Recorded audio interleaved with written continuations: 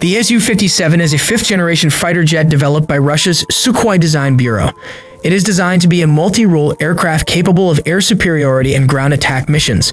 The Su-57 features advanced stealth technology that reduces its radar cross-section, making it more difficult for enemy radars to detect. The Su-57 has advanced aerodynamic features that make it highly maneuverable, allowing it to perform tight turns and evade enemy missiles. The Su-57 features advanced sensors and avionics that allow it to detect and track enemy aircraft at long ranges, providing the pilot with situational awareness and tactical advantage. The Su-57 has a wide range of weapon systems, including air-to-air and air-to-ground missiles, as well as a 30mm cannon.